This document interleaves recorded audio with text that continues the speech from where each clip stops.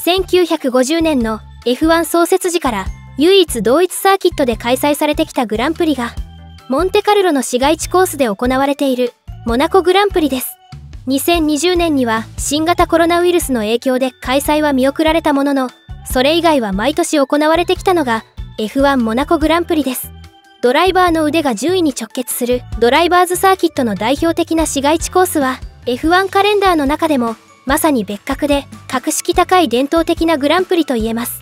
しかしそのモナコグランプリも時代の流れとともにそのあり方が変わってきています。今回はそんな F1 モナコグランプリについて考えてみました。モンテカルロの市街地に設けられたこのコースはドライバーが果敢にガードレールスレスレを攻めるのを楽しむことができます。一寸先は闇とはまさにここにはぴったりな言葉でわずか数センチ数ミリのミスがクラッシュにつながるためドライバーはレース中全く気が抜けないサーキットです。代表的なレースは何といっても1992年のウィリアムズの最強マシンに乗るナイジェル・マンセルとマクラーレンのアイルトン・セナが高バトルを見せたレースと言えます。レース終盤に予定外のピットストップを強いられたマンセルはセナにトップの座を明け渡したものの1周につき3秒も4秒も速いラップを刻み続け残り3周で追いついたのです。誰が見ても抜かれるのは時間の問題でしたがコース幅が狭いモナコではたとえ異次元の速さのマシンが後ろについたとしてもブロックしようと思えばできてしまうのです。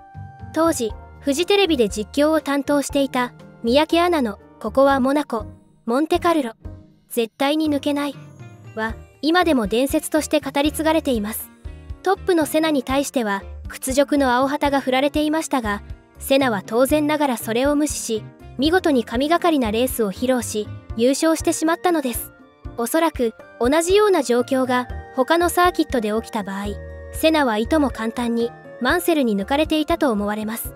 モナコでの勝利は他のレースの3勝分とも言われインディ500ルマン24時間レースとともに世界三大レースの一つとして君臨しています。モナコグランプリは運だけでは勝てないレースといえモナコで勝つことは多くの F1 ドライバーの夢なのです。モナコグランプリの最多勝はアイルトン・セナの通算6勝でグラハム・ヒルミハエル・シューマッハが5勝アラン・プロストが4勝と歴代のそうそうたる F1 ドライバーが上位を占めています。特にアイルトン・セナに関してはタイトルは3回しか獲得できていないにもかかわらずモナコで6勝を挙げているというのがまさに伝説なのです。前人未到の通算100勝以上を挙げタイトルを7度獲得しているルイス・ハミルトンですら通算3勝しか挙げれていないのが印象的です。その他の現役ドライバーで言えばアロンソとベッテルが2勝リカルドとマックスが1勝ずつ挙げています。フェラーリのシャルル・ルクレールはモナコ出身のドライバーで昨年は非力なマシンでポールポジションを獲得したものの決勝レース直前に起きたマシントラブルの影響で無念の DNS で終えていました。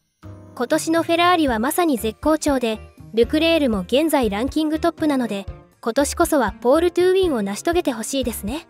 しかしそんな F1 モナコグランプリの開催には年々疑問の声が増しているような気がします。F1 マシンは年々マシンのサイズが大きくなっておりそれに伴い重量も増加しています。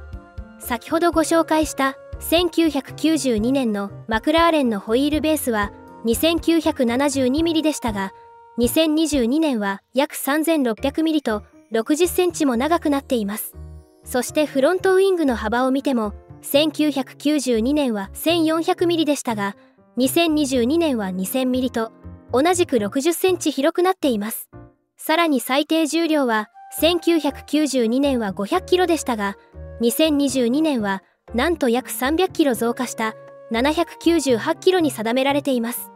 つまり単純計算だとマシンの長さは1.2倍幅は1.4倍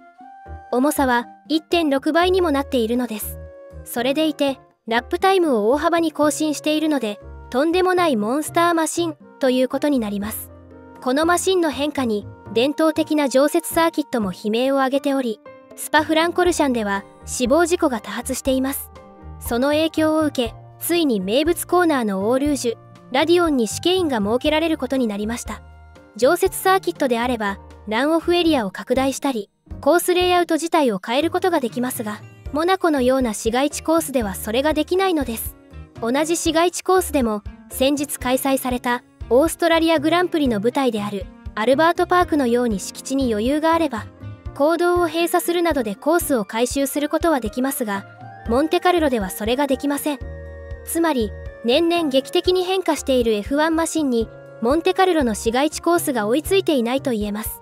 1992年のセナとマンセルのようにただでさえ抜けないモナコを大きく重くなったマシンではさらにオーバーテイクは困難になります。特に前年から40キロ以上も重くなった2022年のモナコグランプリがどうなるかは大体予想がつきそうですよね。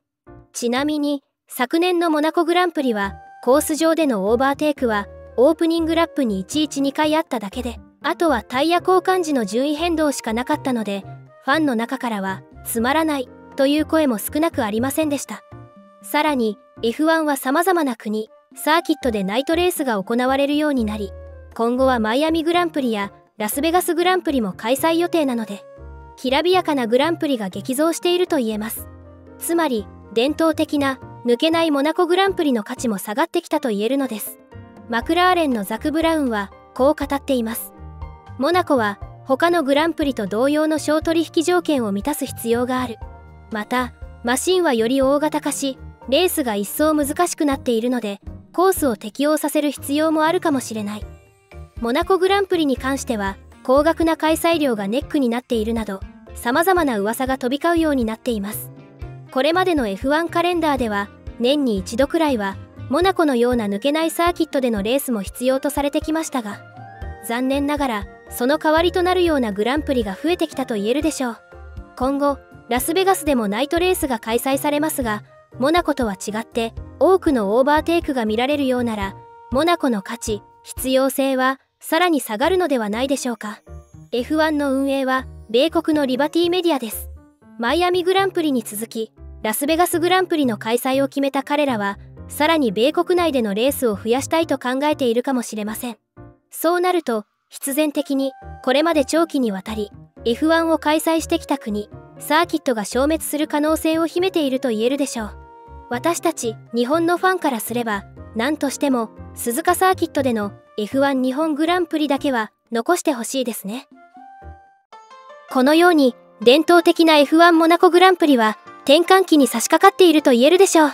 今ではナイトレースも多くなってきたのでファンからすればレア感も薄れてきました。